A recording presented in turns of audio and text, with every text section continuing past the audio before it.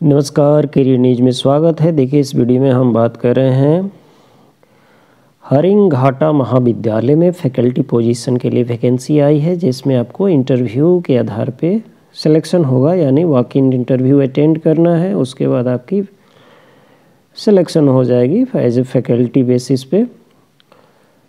Visiting faculty के लिए temporary basis पे ये पोस्टें हैं, आप देख सकते हैं एजुकेशन में दो है सोशियोलॉजी में एक है और कंप्यूटर साइंस में एक है।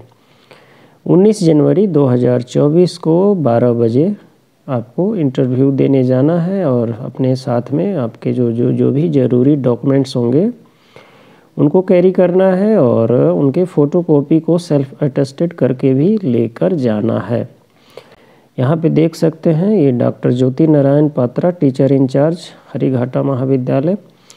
यहाँ पे इंफॉर्मेशन दिया गया है।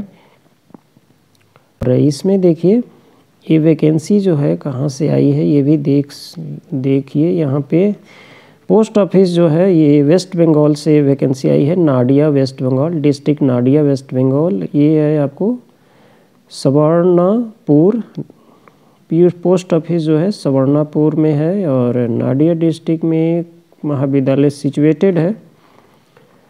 तो आप नियर बाई अगर कैंडिडेट हैं तो आपके लिए काफ़ी अच्छी अपॉर्चुनिटी होने वाली है ये। अदरवाइज़ आप उनको शेयर कर सकते हैं, जो लोग वेस्ट बंगाल से बिलोंग करते हैं।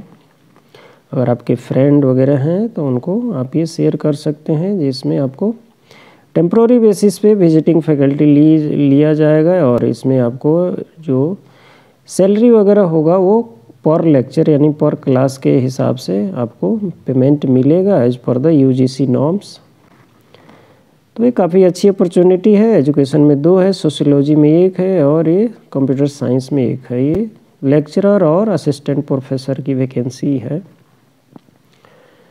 सो so, 19 जनवरी 2024 को आप अटेंड कर सकते हैं ये इंटरव्यू और देन उसके बाद आपकी बहाली हो जाएगी और आप अच्छा परफॉर्म करते हैं इंटरव्यू में। सो गुड लक मिलते अगली वीडियो में। Thank you